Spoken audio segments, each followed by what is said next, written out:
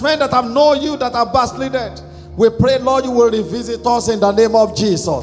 As men that have known you and are still standing, I pray, Lord, again and again you will visit us in the name of Jesus. At the end of this conference, let there be no one in this church that will be a candidate of hell in the mighty name of Jesus. I said, let there be no one in this church that will be a candidate of hell in the name of Jesus. Thank you, Father. In Jesus' mighty name we pray. Amen, amen, amen, in Jesus' name. God bless you. I'm sorry when I was announcing the fasting, I only put the youth at the back. I forgot it's the youth and the children and the teenager that you are rounding off for us. So, youth, you have space. So, it's the three of you. We want everybody to be involved. We're going to get the children that will also lead us. So, and also the teenagers that will lead us, and our youth also will lead us. And the Lord will bless us in Jesus' name. Just do your best to be part of it, um, this fasting. We are talking today, this our month of new creation. It still will continue new creation. And I think maybe we should have even changed it to our season of new creation. So uh, today I'm talking about a new, a new art for a new created man. A new art for a new created man. A new heart for a new created man. Ezekiel chapter 36, verse 26. Ezekiel 36, verse 26. Um,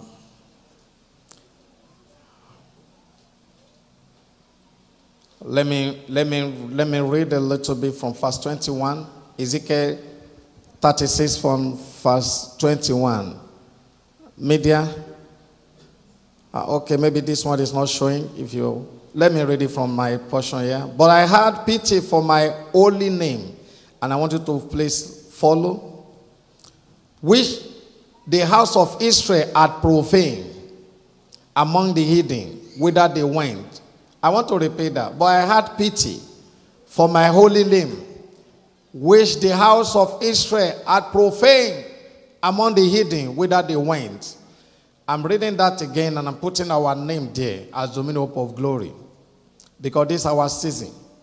God said, But I have pity for my holy name, which the house of Dominion Hope of Glory are profaned among the heathen, whither they went. Give me that verse in another version. And I want you to note it. This is our season and this is the word of God. I suffer much pain over my holy reputation, which the people of Israel blackened in every country where they entered. One more, one more version.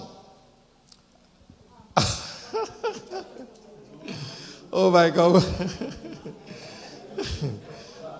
if I have to read this one, they have to read French and Spanish and everything for us. But that's, you know, that, that, that's a very powerful one. Now it said, but I had concern. I had concern for my holy name, with the house of Dominion for glory that provain among the nations where they went. I wanted to see that the first thing, when, why God want to give us a new heart, is because God is concerned. God said, I had concern for my holy name, and it's for his name. It's not just for the church. It's for his name that God is having concern that some people they are profane. Wherever they have gone to, wherever they have gone to, we have went. We have made that name of no effect. We have polluted that name. And God said, I want to give you a new heart. So let me read now up to verse 26. Now you can give me verse 22 now. But in your Bible, please note that. Therefore, said the Lord unto the house of dominion of glory, Thus said the Lord, I do not this for your sake, O house of Israel, but for my only name's sake. So, what God is doing is not just because it's pastor or because it's you or because of minister or because of somebody, but God is doing it just because of his only name so that he can defend his name. But my holy name say, which you are proven among the hidden, whither you went. Verse 23. And I will sanctify my great name, which was proven among the hidden, which you are profane in the midst of them. And the hidden shall know that I am the Lord, said the Lord God, when I shall be sanctified in you before their eyes. Hold on unto this, and I pray that we allow God to do this. He said, The hidden we see, they will know. The hidden mean the Gentiles, the hidden mean the unbelievers, the hidden mean that the people that do not know God, people that have not believed in God. But God is saying, those people that have not believed in God, we have joined them. We have come into their midst.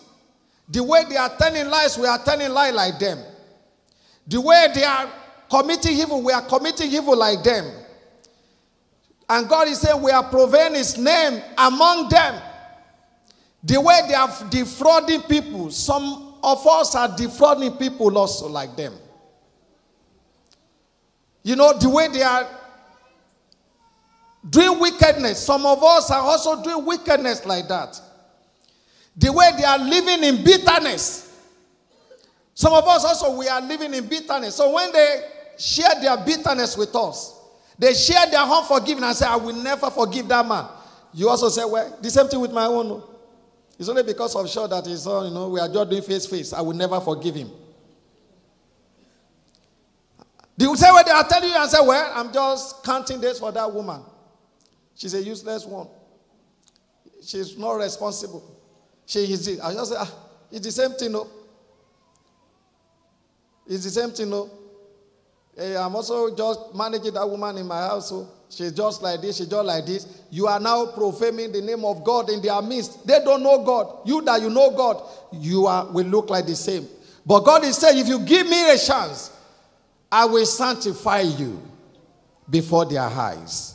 I will glorify you if you allow God to give you a new heart. And that's what God wants to do. And I pray that we're going to allow God in the name of Jesus. Verse 24.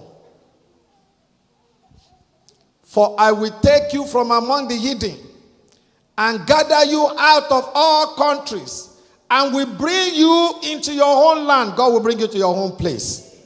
In the name of Jesus. All the wicked men that surround you, God will separate you from them.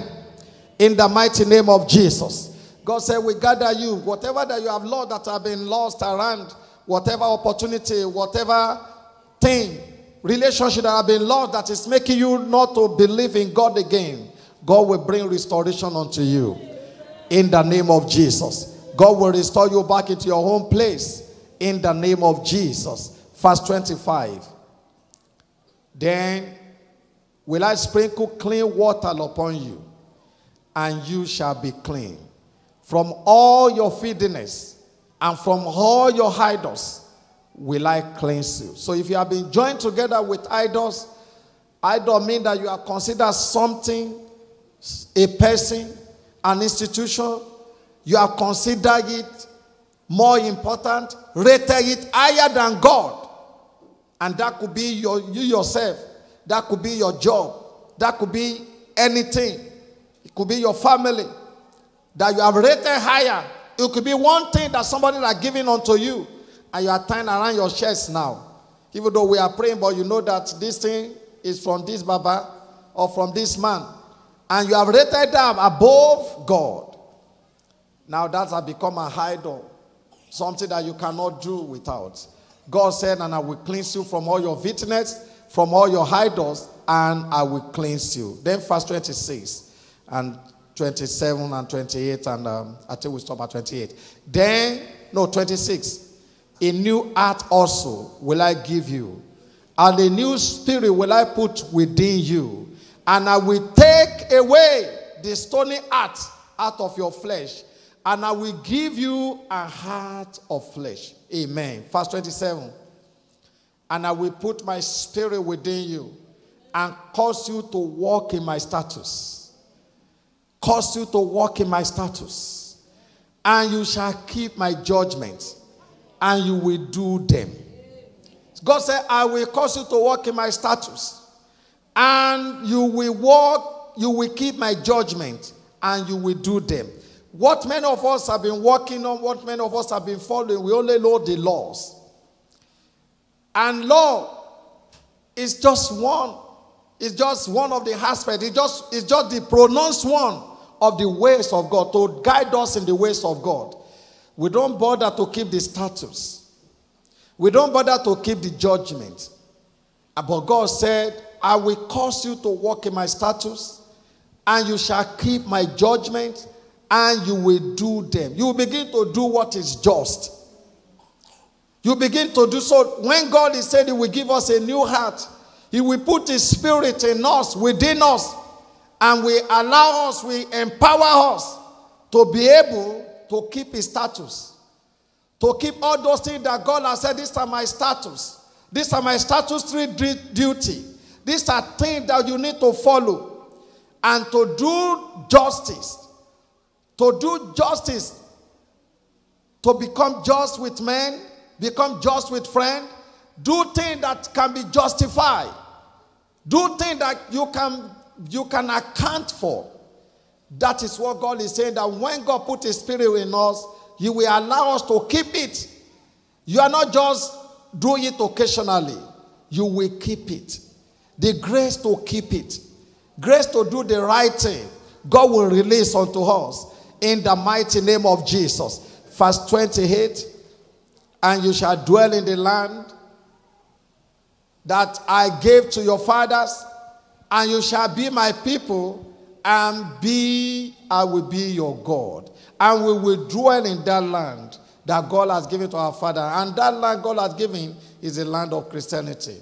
That is what God has given to our fathers that make us be talking about Christianity today. That is the land, that is the path that they follow.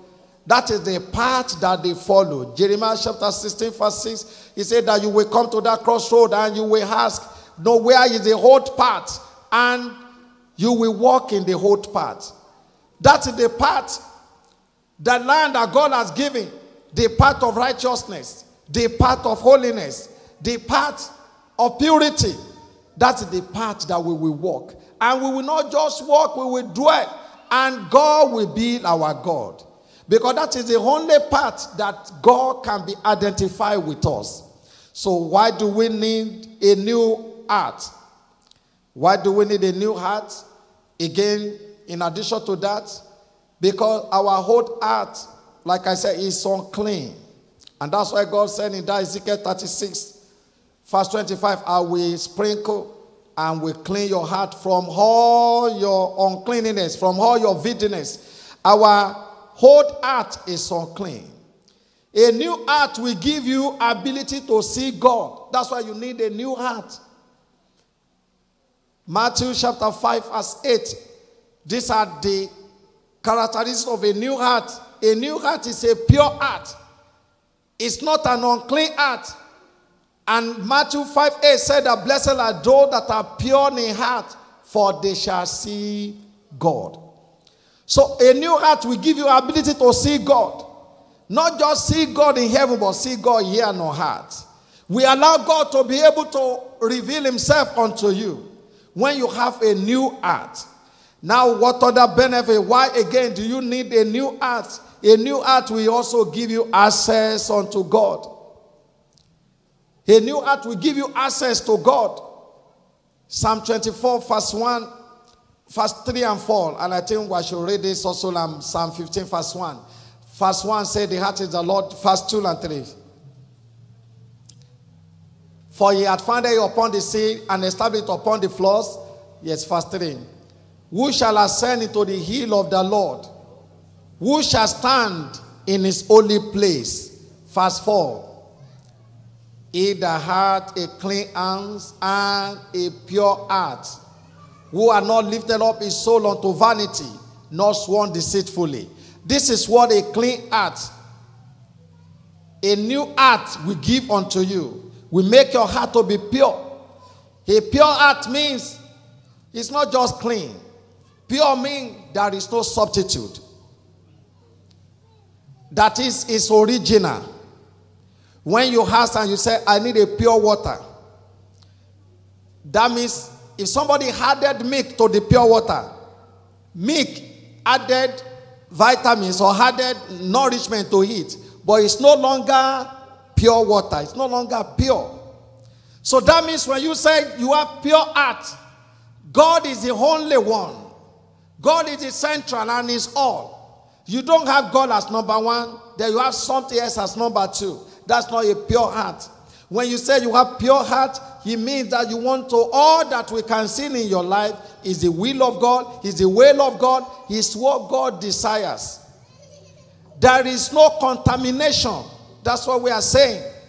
And God said, Who shall ascend to that heat? A new heart, a pure heart will give you access to God. There will no contamination. Many things that have contaminated our heart. There will be no contamination. Contamination like unforgiveness. It's no longer going to be in your heart because you want to approach God. And that's why you need a new heart. So that all the unforgiveness can move aside. All the anger, all the bitterness as you are sitting down. So that all the bitterness can move away. Don't forget, I said, a new heart, a clean heart will give you ability to see God. And so that's what God wants you to do. To, to, go, that's what God wants to do. That's the access God wants to give to us. That's the opportunity. But when there's anger, when there's unforgiveness, when there is malice in your heart, you will not be able to see God. When there's impurity in your heart, when there's uncleanness in your heart, there is no way you can see God. There is no way you can establish that you are a new created man. And so we need a new heart so that God can see us freely. And the Bible said in Jeremiah chapter 17, verse 9, the heart of man is desperately wicked. So that's another reason why we need a new heart. Because the heart of man is desperately weak. Our heart, and I think that verse say, who can know it? Who? Nobody can really know it. The heart is desperately wicked. And so if you hold, if you keep, if you hold on to this old heart, you cannot, you yourself cannot imagine what you can do. Because the heart is desperately wicked. Desperately wicked. Nobody can really know it. Nobody can understand. If the heart is open, that you can read it like a book. Probably some of us this morning, we may not be able to stand inside this church if God should open our heart to see the kind of lion that is there, we just run away. But God did not want anybody to run away. God knows that the heart is wicked. He knows that wickedness that is in your heart, that you are angry about, that you, God knows, and that's why God wants to give you a new heart. You want to do it, but you cannot do it. God know that heart that is planning evil and evil continuously. God know that that heart is wicked. And it's not that it's wicked, it is desperately wicked. I think the media can give me in um maybe in the message version or another version so that we can just see that. He said the heart is deceitful above all. Okay. The heart is hopelessly dark and deceitful, a puzzle that no one can figure out. I think there's a version that says the heart is sick. Oh, okay. Yeah, this version. The heart is deceitful above all things, and it is extremely sick.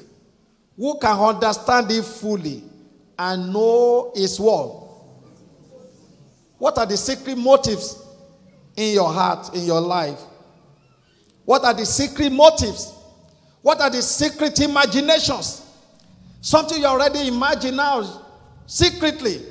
Even your husband, you are sitting, sleeping together on the bed, did not know about it. Your friend that think that he knows everything about you, know that there's, he didn't know there's something, secret motives.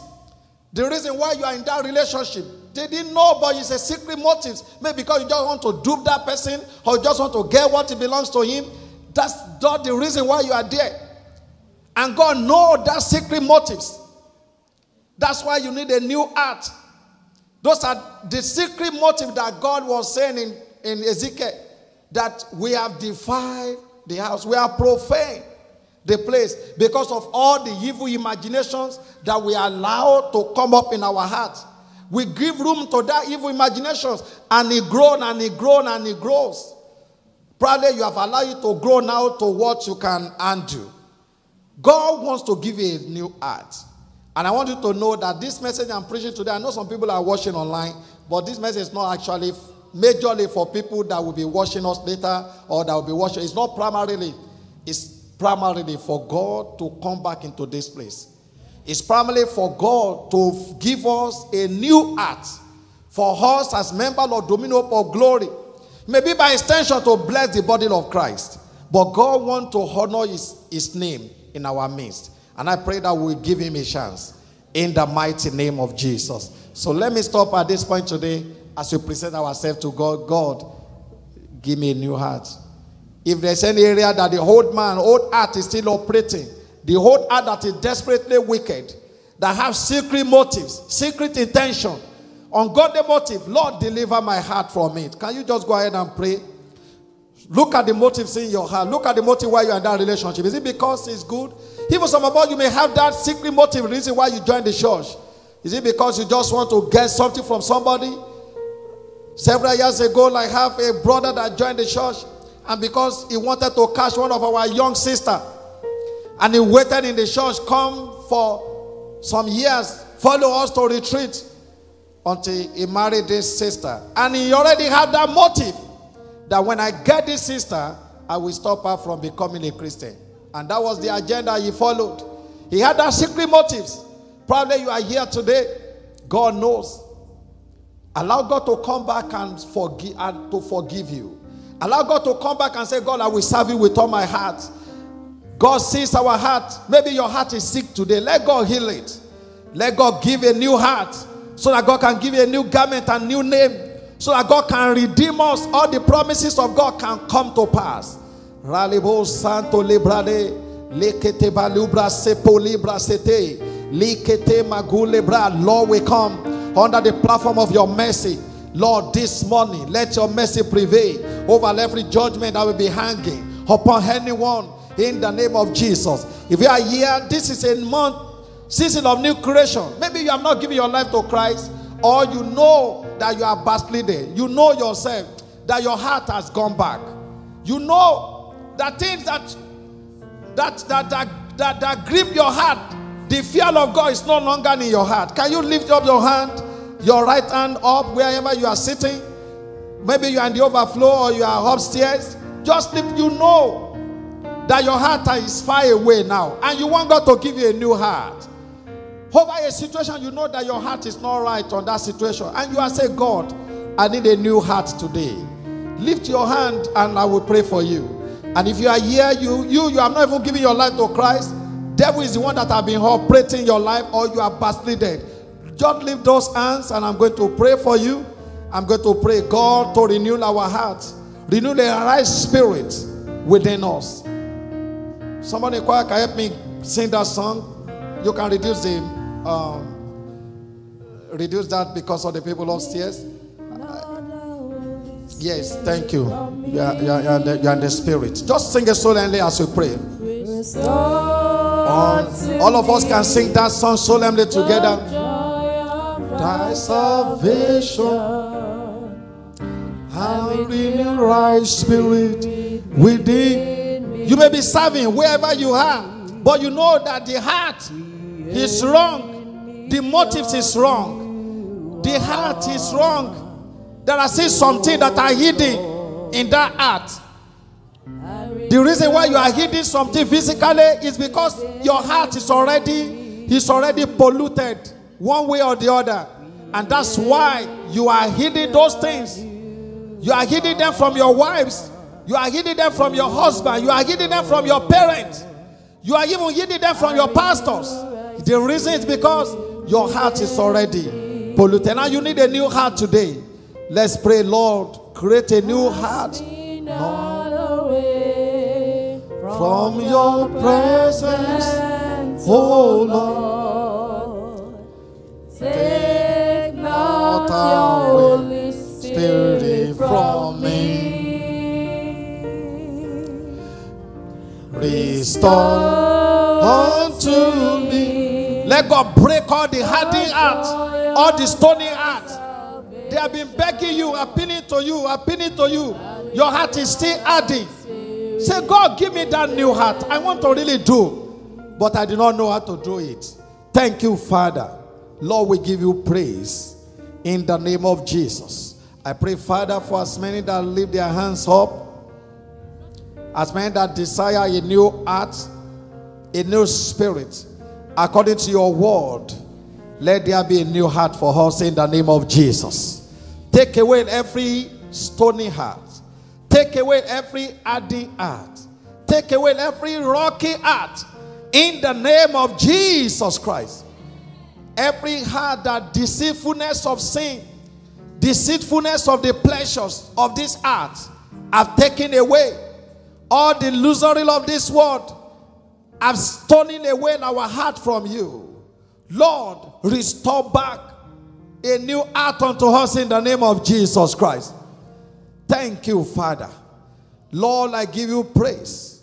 All of us, Lord, let there be no wicked heart be found in us in the name of Jesus Christ.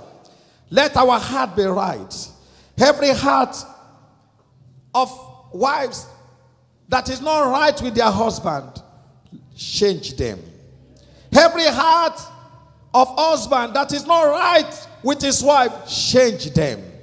In the name of Jesus. Every heart of fathers, heart of mothers that is not right with children, heart of children that's not right with the fathers. Lord, change us in the name of Jesus Christ. Let a new heart be given today in the mighty name of Jesus. All the evil that have ravaged, that have taken over our heart, Lord, pack them out in the name of Jesus Christ. By your fire, send out every strangers that have occupied our heart in the name of Jesus. Restore our heart unto yourself. Thank you, Father. In Jesus' mighty name we pray. Amen. Amen. Minister Okotola. Amen. Can we please appreciate God?